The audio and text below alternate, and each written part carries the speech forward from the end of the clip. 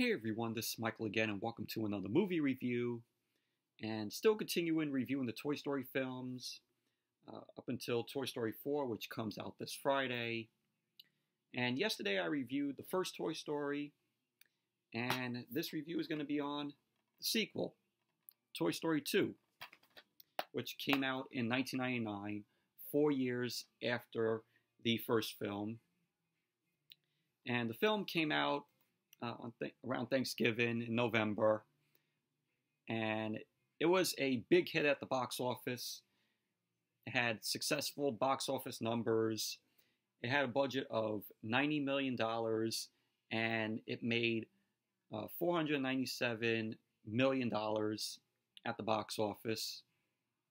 And the film is considered uh, by critics to be one of the few sequels films superior to the original, and it's on lists of the greatest anime films ever made. And I fully agree with that. Toy Story 2, I love just as much as the first film. It's as good as uh, the first film.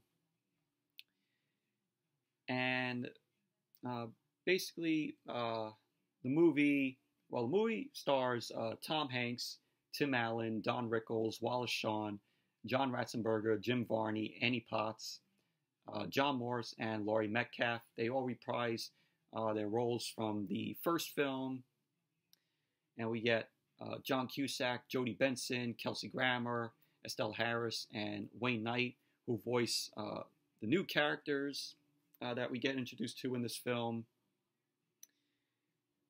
And basically, what the movie's about is it takes place after the first film. If you remember at the end of the first film, uh, Andy and the toys, uh, his mom and you know the baby sister, they move to a new house, and as the film uh, starts, you know they're in the new house, and uh, Andy's mom uh, is getting rid of some of Andy's toys that she ends up selling at a yard sale, and uh, there's a uh, toy that Woody knows. Woody's voiced, of course, by Tom Hanks.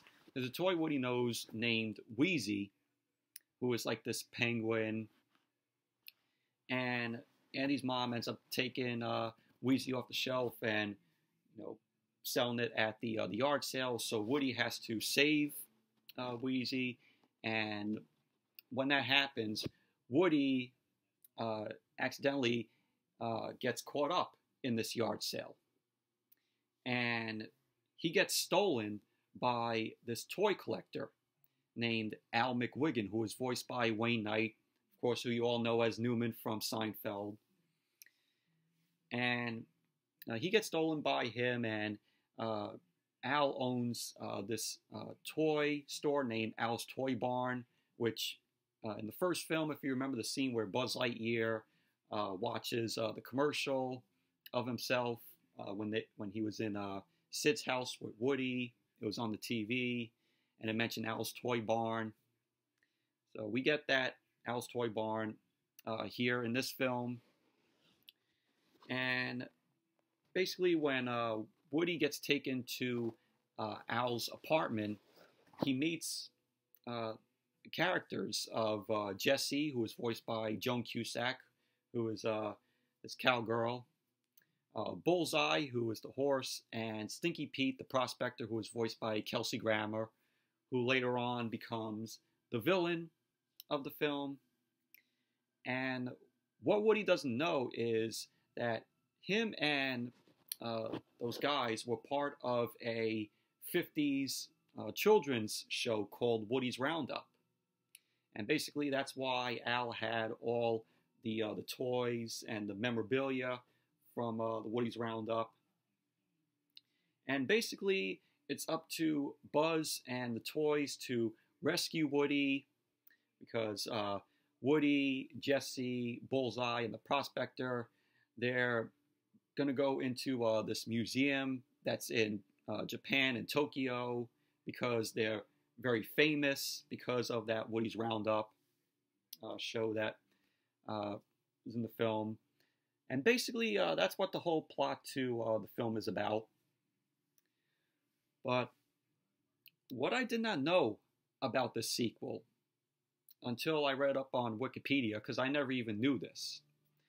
But originally, this film was supposed to be a direct to video sequel. But Disney uh, scrapped that, and I'm glad that it wasn't a direct to video. I'm glad that the film wasn't direct to video because uh, the film had a troubled production and controversy was surrounding it. Uh, there was a uh, co producer uh, that worked on the film uh, by the name of Karen Jackson. And this is off of uh, Wikipedia. This is something that she said while I guess the film was in this troubled production. And she says, I quote, when we went from a direct to video to a feature film, we had limited time in which to finish that feature film. The pressure really amped up. Forget seeing your family, forget doing anything. Once we made that decision, which uh, says on the schedule, it was like, okay, you have a release date. You're going to make that release date. You're going to make these screenings. End quote. So uh, the film uh, was worked on and it was demanded in June 1997. So this this was uh, going back to 1997 when they were trying to uh, complete uh, the film.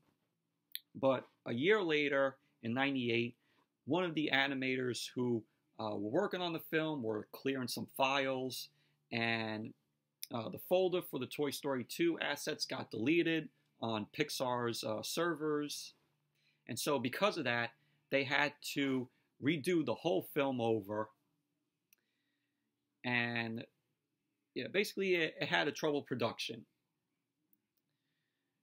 So, which that I did not know.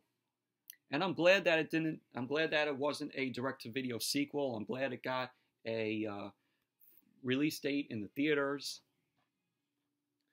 But uh, this uh, film came out after A Bug's Life, uh, which came out the previous year in 1998. Which A Bug's Life to me, I haven't seen uh, the film in a while. I think ever since I was a kid.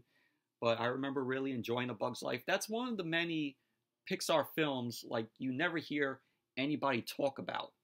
Like A Bug's Life is very underrated. And I gotta I gotta watch uh gotta rewatch that film again. It's been years since I've seen A Bug's Life.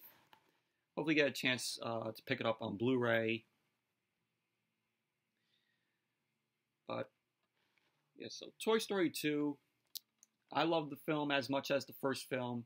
It's as good as uh, the first film. And what more can I say about uh, Toy Story 2? And this uh, DVD, of course, uh, this is the two pack, which comes with uh, the first film and the second film does have uh, you know features. Only has two features for Toy Story, and uh, the features there for Toy Story 2. It has three uh, features. It includes the Academy Award nominated uh, short uh, by Pixar, Luxo Jr. with the uh, with the lamps, which I was really cool. I really liked that little short. It has the outtakes, which uh, you see at the end of the film, like I remember there was an option on uh, the DVD here is you could watch the outtakes as a feature or you could put it as uh, you know during the end credits because I remember when I originally got this it just had like the uh, the end credits without the uh, the outtakes so but yeah the outtakes come as a feature and the outtakes are very hilarious and it also has a sneak peek at Monsters Inc., uh, which came out in 2001. And it's been a while since I've seen Monsters Inc., which I remember I really, uh, really enjoyed. Uh, Monsters Inc. I haven't seen Monsters University yet. So, but those are the features that come on the uh, Toy Story 2 uh, DVD here. If you have uh, this two pack. But uh, yeah, Toy Story 2 like I said, as good as uh, the first film. Love it as much as the uh, the first film, and you also have uh, you also get introduced to Buzz Lightyear's. Uh, forgot to mention you get you also get to uh, you know meet Buzz Lightyear's uh, you know enemy, who he talked about in the first film called uh, Zurg, which Zurg appears, of course, in uh, the film, who was Buzz Lightyear's uh, arch enemy. So, yeah, that's Toy Story 2. Great film, as good as the first movie. So, yeah, and then, and then the, there's also uh, like the Wheezy character. I forgot to mention. Uh, he only appears uh, in this film because there's uh, there's mentions of uh, where he went in Toy Story 3. Same with uh, Bo Peep, who was voiced by Annie Potts. This is the last. Uh, Toy Story 2 was the last we saw of Bo Peep, who was also in the uh, the first Toy Story, because uh, she gets referenced uh, in Toy Story 3 on where she went. So, but yeah, so that's all I got to say about Toy Story 2. Anyways, that's it for my review of Toy Story 2. Thank you all for watching. Hope you all enjoyed this review. And uh, definitely uh, give the video a thumbs up, comment, subscribe. And the next uh, movie review will be on Toy Story 3. And then uh, after that, maybe a SmackDown review. Uh, who knows what I'll do. And then after that, Toy Story 4. So, yeah, so until the next video, I'll see you all later.